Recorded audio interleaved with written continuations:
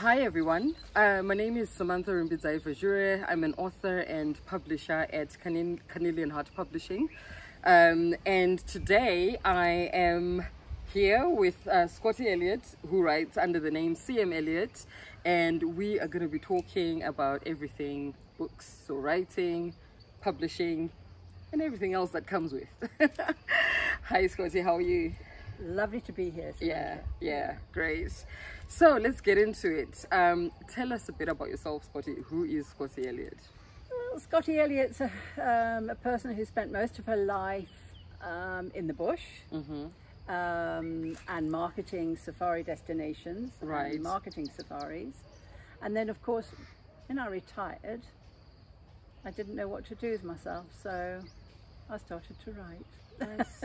So it's as simple as that, really, and put my experiences in my books. Mhm. So they're all about the bush and, um, you know, experiences I've had and Mm. adventures I've had. Yeah, yeah, yeah. So, yeah. Amazing, amazing.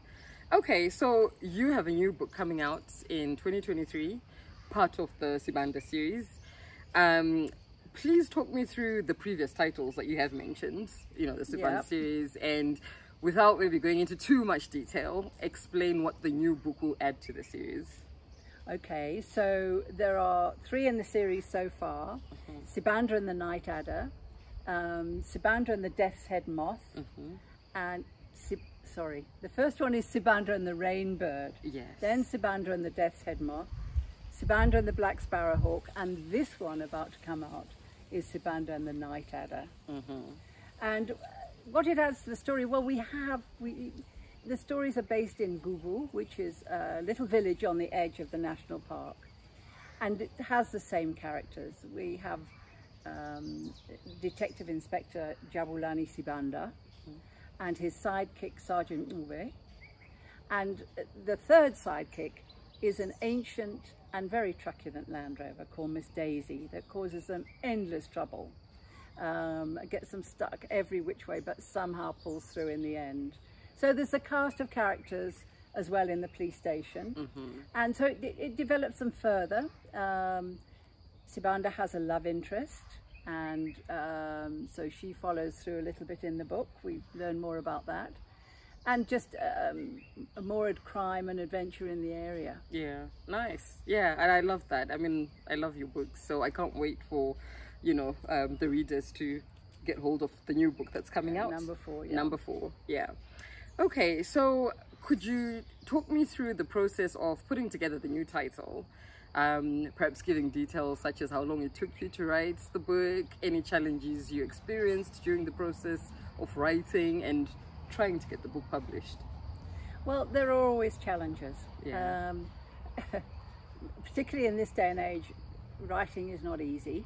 Um, some people seem to get to, you know, write really easily, but um, for me, it takes about two years. I have an idea. This time, my idea was about Zimbabwe's diamonds. Mm-hmm. And so the night adder is a snake which has diamond markings on its back. And so that detailed, uh, fitted in, sorry, quite quite nicely, dovetailed quite Yeah. nicely. Um, and also, it's quite a sort of mysterious title, The Night Adder. Yeah, know, So it adds a touch of mystery to it. Um, did it take a long time? It- once I have my characters, once I have my baddies and my villains and my suspects, Yeah. then I'm away. Yeah. But um, sometimes it, it takes a while to get that all in place. I'm not a, I'm not a, a plotter, sadly. Mm. I'm what's called a pantser. Yeah. I have a vague idea of what's going on, Yeah. And then And then you just tell the story. I tell the story Yeah. because it would get boring if I Yeah. knew already. I, I like the excitement of discovering Absolutely. who did it, why Yeah. they did it. I think I'm. I'm like that as well. I can't plot a story. No. You know, I just write. I sort of imagine being a maybe a grandmother by a fireside, just telling a story. You know, and it just kind of takes its own. Yeah, it just kind of takes its Yeah. own life and. and the characters quite often will lead you down their path. Absolutely. So, yeah. So the book writes itself. It does. Yeah. Oh, nice. If we're lucky. yeah absolutely absolutely okay and i don't know and with the publishing do you did you find are you finding any you know Well, it, it, it's been getting yeah, it's getting more. I find publishing getting um, more difficult. yeah Um, the African fiction market in general Mm. is is not good. Um, I was reading some statistics about the fact. I think it, about six years ago is the last time I saw the statistics, and um, locally published authors um, sold seventy-five thousand books, Oh wow. and I'm sure there were more than 75,000, 75 books published. Mm, So eh, there isn't massive sales available for fiction. no. Non-fiction sells very well. Yeah. Cookbooks, how to help yourself, or do it yourself, or Yeah. those sort of books sell very, very well in Yeah. South Africa Yeah. and um, probably Zimbabwe as well. Yeah. But fiction, for some reason, we, we Isn't tend to, we- well. you're never a prophet in your own land. Mm, So we like to import the Lee Childs, the J.K. Rowling, you know, all the big names. Yeah. We trust something from outside the country rather than our own stories. Yeah, rather than our own stories. Oh, how sad is that though? how sad, but that won't stop us, will it? No. We'll- no, that won't stop us. no. We will keep writing. Keep writing, Yeah, yeah. yeah. Oh, great. um, so, I think we talked about uh, potentially having you read an excerpt from your book. Okay. Could you please read us a bit from the upcoming book? Okay, this is um. Oh, I've got to find it again now. This is a bit where um, Sibanda's on the run. Mm-hmm. He's been he's been accused of bad things which he hasn't done, and he's being chased in the bush. Of course, he's gone into the bush. That's his his milieu, his Yeah. medium. He knows everything. So Yeah. the choppers were close, too close. The pulsing drum of the blade screamed in Sibanda's ears. When he dived into the bush, curled into the smallest ball possible, knowing his chance of evading detection was minimal, he didn't know the shade was already occupied. His fellow fugitive, a snake, uncoiled and slithered across Sibanda's ankle. The detective lay motionless, willing himself not to move. He identified the reptile as the rhombic night adder. The demon night adder, a snake by any other name. Every instinct screamed to kick at the slithering viper, to get the hell out of that bush. But if inside lay horror, then outside lay certain death. He watched almost in fascination as the adder's slender cylindrical body undulated. The satiny texture of the scales reflected jade light filtering through the leaves. The sinuous movement was fluid and muscular. A squeeze here, a relaxation there, and the diamonds on the adder's back sparkled in their rose gold setting like a treacherous anklet. A bite would be debilitating rather than fatal, causing dangerous tissue damage from the cytotoxic venom. But if Sibanda survived the helicopters, then he would need every muscle working and every ounce of energy he could muster. This fully grown meter-long snake could damage his survival prospects. The adder hesitated midway across Sibanda's exposed ankle and stared with large, round, unblinking eyes. Sibanda held the gaze as still and steadily as the snake. The movement he couldn't control was the furious pounding of his heart and his pumping pulse points. The adder's sensitive scales would pick up on that. Can you see anything? The pilot yelled. I'm not sure, maybe. I'll let off a few bursts. That'll move whatever's there. The soldier clicked off the safety catch and engaged automatic mode. He sprayed the bushes. His partner on the opposite side followed his lead.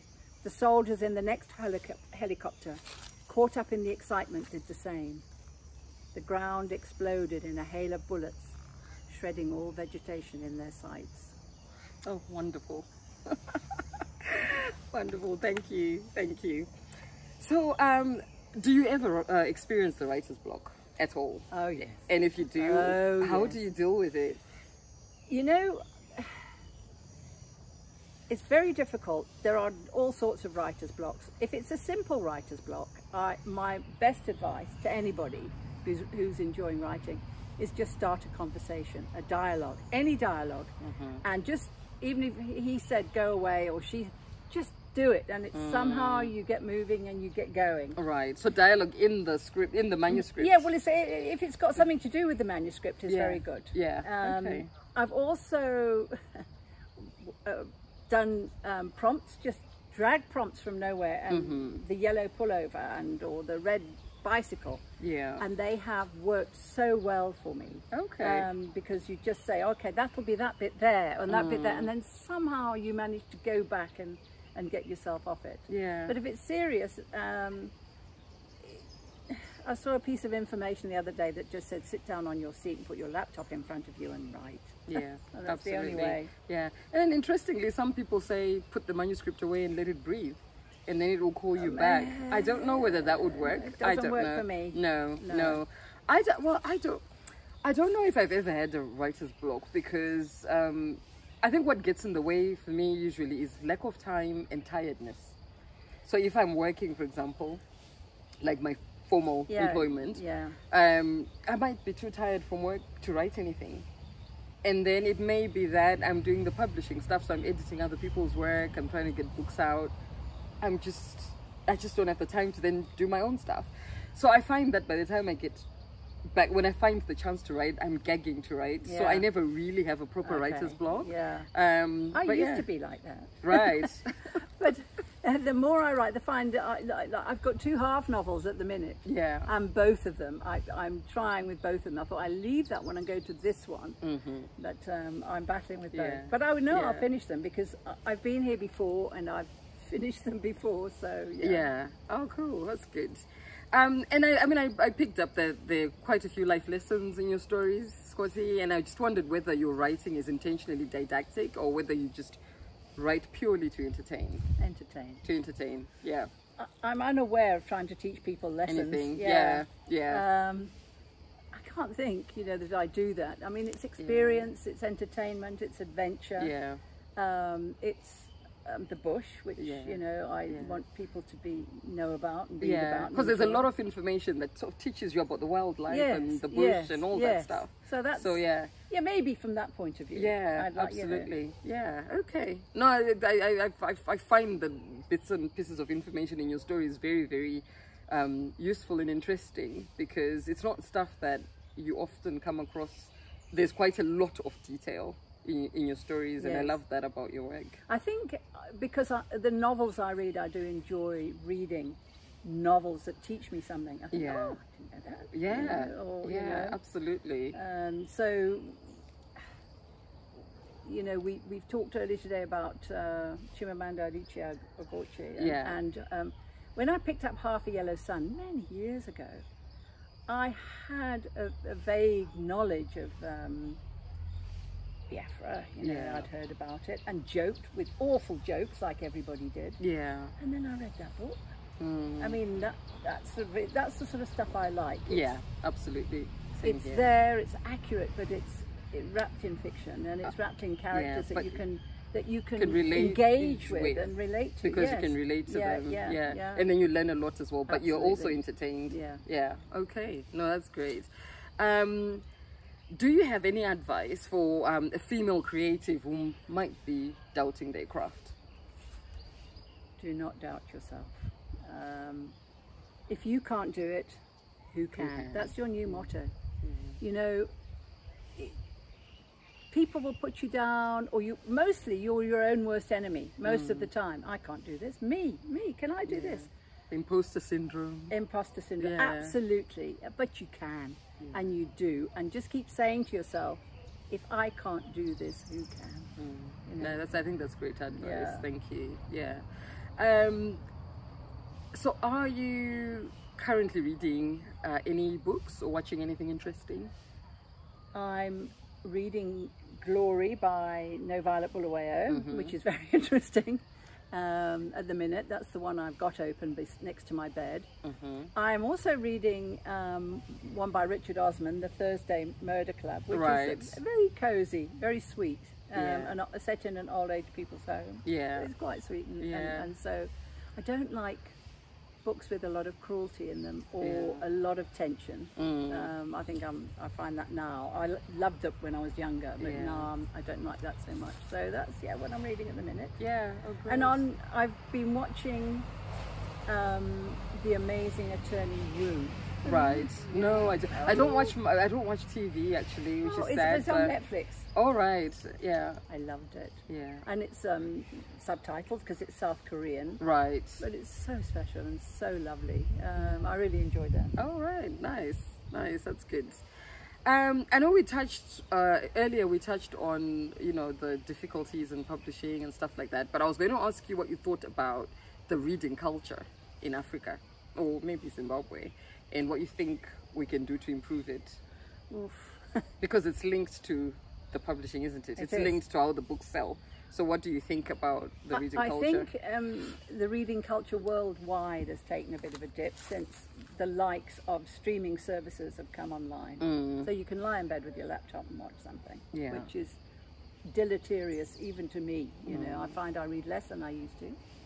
Um, so there's that. In Africa, in particular, um, I think, like everywhere, do you buy a book or do you buy butter? You know, it's expensive. Yeah. Even, you know, some of the cheaper books out there, yeah, you know, you look at it, even I think, I think, oh, you know, can I afford to buy these books? mm, Um, so I, I think it, it, we, it has become expensive. mm, Publishing, as we know, is very expensive. Mm. So you can't cheapen the books, you know, otherwise you'd be doing it like as a, as a community gift. Um,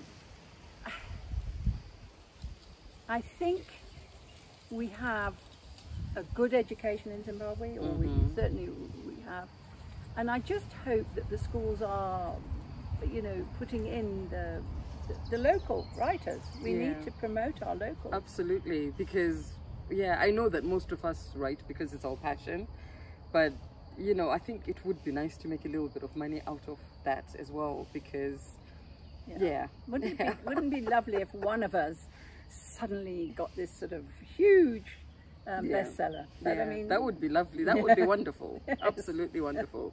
But I, I think we're getting there. Yeah. I, uh, yeah, I think we get. We will get there. Yeah. And um, whatever happens, we we won't stop writing, right? We just No, yeah, no. yeah. We just have to keep going. Keep going. yeah. Uh, so, and do you have any favorite authors then? Ooh. um, favorite authors? Well, loads. Off the top of my head, of course, like everybody, Jane Austen. I read again and Mm-hmm. again. I love her. Um, there's another English author caught by the name of um, Pat Barker. Right. Who I enjoy her works. You know, her um, First World War trilogy. I love. Um, I like. Um, obviously you know Violet and Tsitsi Dangarembga and people, you know, there are some locals that, you know, Yeah. deserve to be in our, on our, next to our bed and on our reading piles. you know. Absolutely. Yeah. Yeah. Okay. Well, that's great. Um, moving on from you know writing, do you have other talents or other interests outside of writing? Well, the bush and wildlife obviously is, Yeah. is an interest, and um, but no, not really at the minute. I haven't got anything passionate that I enjoy doing. Um, enjoy cooking. Yeah. Um, I enjoy reading, um, but mostly I enjoy writing. Yeah. Oh, great. Yeah. I think most writers just enjoy the writing. Yeah, yeah. really. Yeah. It's hard to do anything else when you've got yeah. need to get stuck in. Absolutely. So, uh, do what is your biggest dream? Do you have a dream? Oh yeah, Yeah. I would love Sibanda to be on screen. Oh wow. Yeah. And he, it, the books have been um, optioned by a, a South African um, uh, film company. Yeah. And but as you know, it's so long to get off the ground these projects to Yeah. find the money and so on. But can you imagine? When was the last time we saw a wildlife movie?